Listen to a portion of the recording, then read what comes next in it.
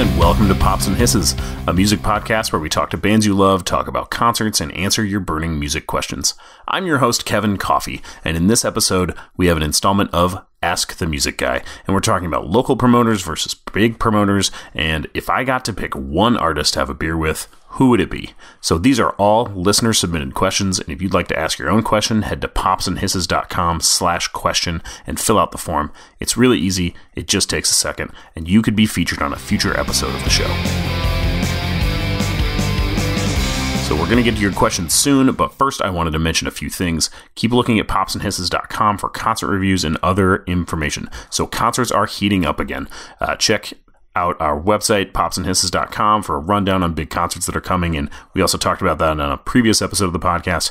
But we are going to be seeing more shows, which is so exciting. So we have reviews coming up from Tool, Billie Eilish, and lots more. So keep an eye out for those on the website. I always take lots of photos, do reviews, recaps. So no matter where you are, those bands are coming to your town. It's always great to check those out before and uh, kind of get an idea of what's coming. So for fans of the podcast in Omaha and Lincoln as well, I also wanted to tell you to check out the site, popsandhisses.com, for my list of the best concerts coming to town from now until September. So, right now, there's 52 concerts on the list, and we'll keep adding to that list as they're announced. A lot of things are coming on the way this summer. Not everything is announced yet, and we will keep adding to that. So, keep that one bookmarked and keep coming back to it. So, for the whole review, of those shows for some lists and some exciting stuff, obviously more podcast episodes, go ahead and head to popsandhisses.com. So we're back with another edition of Ask the Music Guy, and on this episode we have two questions. The first question comes from Adam Strur on Twitter. So he said, How disappointing is it that Live Nation is booking for a new venue in Omaha instead of a local promoter? Because we've seen local festivals be booked masterfully and grow year over year. So, what's the next step local promoters can take to lead, collaborate, and grow Omaha as a greater homegrown music destination? That's a great question from Adam. And actually, it's a little more than one question. He's kind of touches on a few different topics there. So, one of the things he's talking about is obviously specifically in Omaha, where I'm from, but uh, I'm going to talk about them broadly as well. So if I'm hearing him right, uh, he's kind of talking about a few different things. One is about promoters uh, and venues, and the other one's kind of about a homegrown music scene, and those are kind of related but a little bit different. So I'm going to kind of tackle these one at a time. Uh, Omaha is probably like a lot of other cities. So we have big venues, small venues, medium venues, theaters, GA places, clubs, uh, you know, all kinds of different things. Um, we also have promoters, large and small. So we've got tons of shows booked by Live Nation and AEG and those big promoters. And we also have a large local promoter. We have uh, promoters that, concert promoters that book at medium, small to medium sized venues all over the country and also book them here. So we've kind of got everything. Uh, is it disappointing when a large promoter comes in and just kind of takes over a venue? Yeah, totally. I'd say so. Generally speaking, those large promoters don't have the pulse on what's happening in your town. They generally book a lot, uh, big tours. Primarily, I mean, they're trying to maximize their dollar. And so, Live Nation, for example, biggest promoter in the country. Be, uh, you know, they book international tours for the biggest artists in the world. They do smaller shows, but rarely do they do anything smaller than a thousand people or so. You know, that's even so, that's well known talent that they're booking on a national tour and they're going to book in your home, in your town too. So uh, a lot of times that happens too. Live Nation doesn't usually have people to run shows in your town, so they'll fly somebody in just for the day, just to do your show. Uh, they even will hire local freelancers to run shows. So the people who work for your local promoter on a night off might go run a Live Nation show.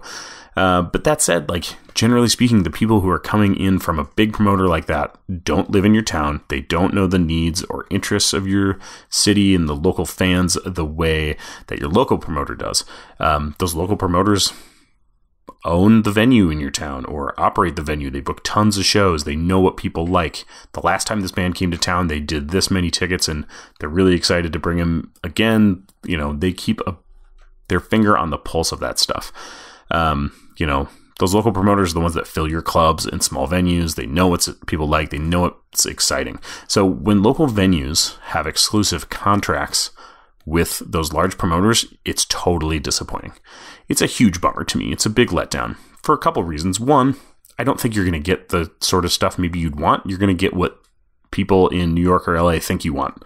Um, and when you're not on the coast you're in a different place, that might not be quite what you're excited about.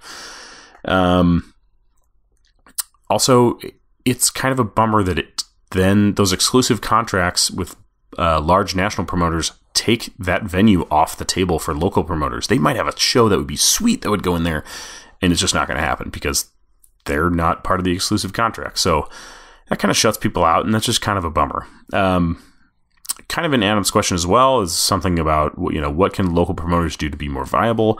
I mean, book more good stuff, book lots of stuff, uh, take control of more venues, get your shows into as many venues as you can.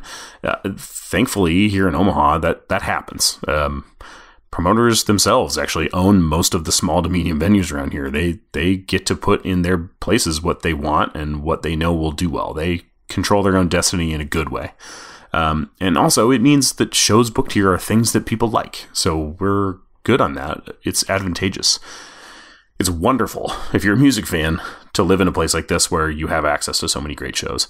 Uh, the last part of Adam's question is a little bit different. It's kind of related, but he said, uh, just a reminder, he said, How do you grow a city as a homegrown music destination? So, you know, when we're talking about that and like local bands and local music scene, local promoters have a big part in that. Um, because, you know, if they're controlling the shows and the venues and things like that, that's really good. They can help promote those local bands and stuff. But, you know, a lot of that comes on us, us as people. those of us that are going to join bands and create bands and plan bands, and those of us also who are going to go to shows. So, how can we all do better? Encourage people to go to your shows. If you are a popular band, get other bands that you like on your bill.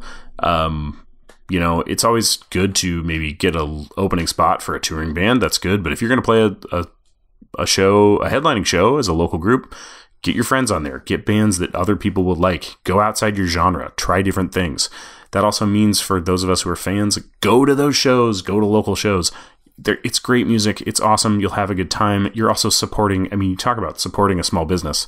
You're supporting a local band you know, buy a ticket.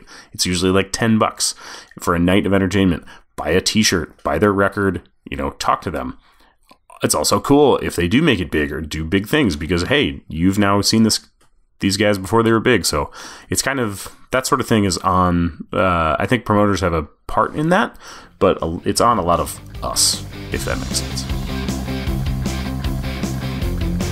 Real quick, I want to talk about this very podcast, Pops and Hisses, and our website, popsandhisses.com. So the podcast is coming out weekly. We've been off for a couple weeks, but we are back at it. Uh, keep an eye on your favorite podcast service and follow me on Twitter at Omaha Music Guy for updates in case we take a week off or we've got a bonus episode or something like that.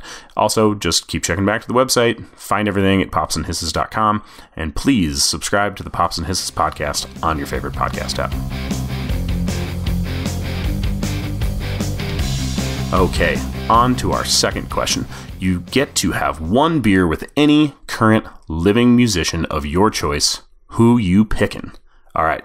I love this question from Sadie, my friend, as well as co host of the Meathead Test Kitchen podcast, which is also on the Hurrdat Media network of podcasts. Go check them out. Sadie and Sasha make a great podcast, but I just love this question. Sadie, I want to know your answer to this too, but I will give you mine first. I'd actually love to hear from anybody, so hit me on Twitter and let's talk about this. But my answer, my answer is Dave Grohl. So why?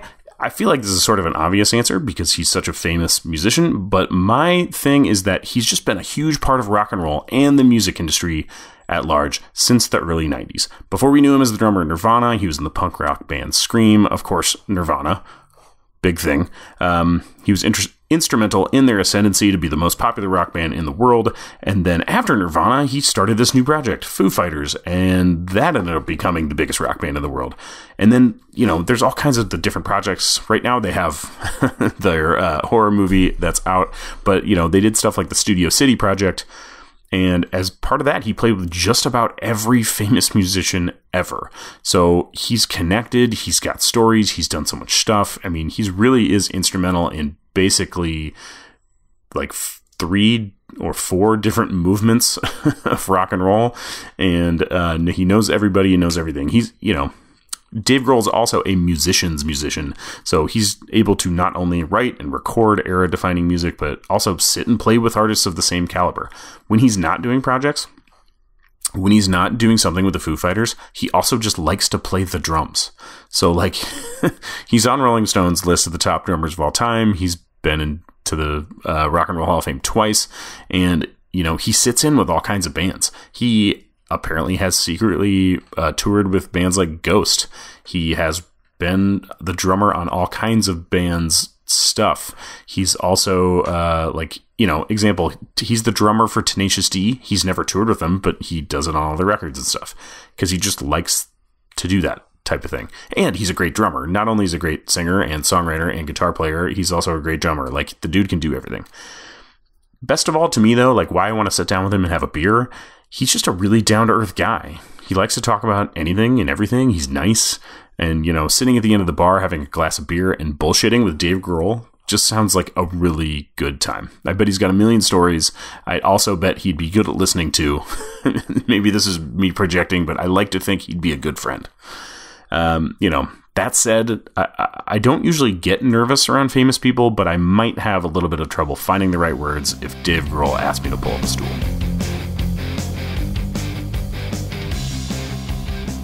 Hey, everybody. Thanks so much for your questions. Remember, you can submit your own question to be featured on a future podcast at popsandhisses.com slash question.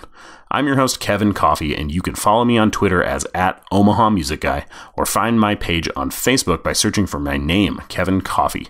Thank you so much, as always, to Hurrdat Media for producing the show, and find lots more of our podcasts on hurrdatmedia.com slash network. That's H-U-R-R-D-A-T media.com. Thanks for listening. See you next time. A Hurrdat Media Production.